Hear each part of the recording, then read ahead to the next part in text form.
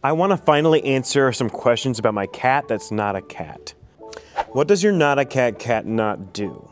Well, what it doesn't do depends on where it isn't. Is the fur soft or peppery? Well, the feeling of fur is a transmitted sense that is subjective to the beholder. So maybe.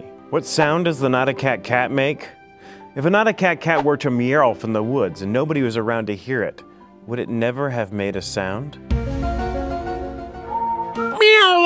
Can it have not a kitten kittens?